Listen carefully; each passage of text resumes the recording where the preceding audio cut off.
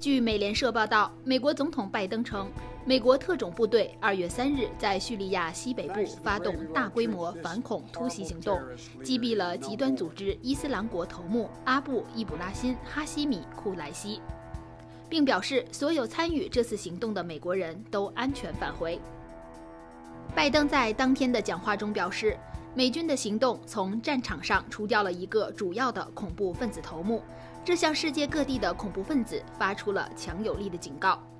这是自2019年美国袭击杀死极端组织伊斯兰国前头目阿布·巴克尔·巴格达迪以来，叙利亚伊德利波省发生的最大规模袭击。库莱西被视为伊斯兰国前头目巴格达迪的继任者。美国国防部事后发表声明称，美军特种部队在叙利亚西北部执行的这次反恐任务是成功的，美方没有人员伤亡。拜登没有回应关于突袭造成伤亡人数的提问，但他透露库莱西引爆了一枚炸弹，炸死了自己和家人。据美联社稍早报道，现场有人报告说有十三人死亡，其中包括六名儿童和四名妇女。此次行动正值伊斯兰国试图卷土重来之际，该地区发生了一系列袭击，包括上个月底袭击叙利亚东北部的一座监狱，该监狱关押了至少三千名伊斯兰国被拘留者，这是多年来最大胆的行动。Meta Platforms Inc. 股价二月三日上午一度暴跌百分之二十六，市值蒸发超过两千亿美元。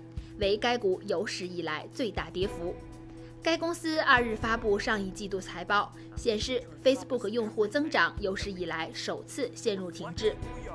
Meta 本季度的销售额预测也让华尔街失望，其首席执行官马克扎克伯格承认，Meta 在吸引用户时间和注意力方面面临激烈的竞争，特别是来自 TikTok 的竞争。令人失望的业绩发布之际，正值该公司的一个重要关头。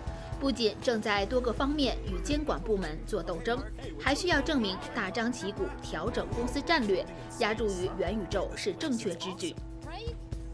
扎克伯格的这个沉浸式互联网愿景可能需要数年才能实现。该公司去年更名为 Meta，以表明其未来方向，表示将在今年上半年将股票代码改为 Meta。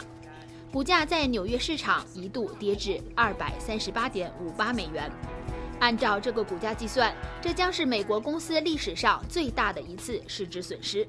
扎克伯格表示，Meta 打造 Reels 与 TikTok 竞争，正在快速增长，但货币化速度很慢。他希望投资者保持耐心。亚马逊公司创办人贝佐斯造价约四点八亿美元的超级游艇，因为体积过于巨大。荷兰将不得不把一座历史悠久的桥梁一部分暂时拆除，好让游艇通过。贝佐斯的这艘超级游艇有三个桅杆，高度约四十公尺，在荷兰的阿尔布拉瑟丹建造完成后，需要通行位于鹿特丹的康尼谢夫桥桥下。造船厂已要求鹿特丹市议会拆除大桥的中心部分，以便让游艇通过。鹿特丹市长发言人指出，这是通往大海的唯一路径。他也说，亿万富翁贝佐斯会支付工程费用。拆解将需要几周时间，预计将在今年夏天进行。鹿特丹市长办公室坚称，建造这艘超级游艇为当地带来经济效益，并创造就业机会，也承诺会把桥梁恢复原状。康尼谢夫桥建于1878年。一九四零年，二战期间被纳粹轰炸后重建。最近一次整修是在二零一七年。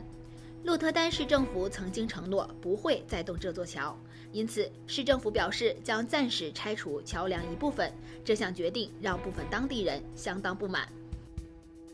二月三日晚，联合国秘书长古特雷斯、联大主席沙希德、世界卫生组织总干事谭德赛。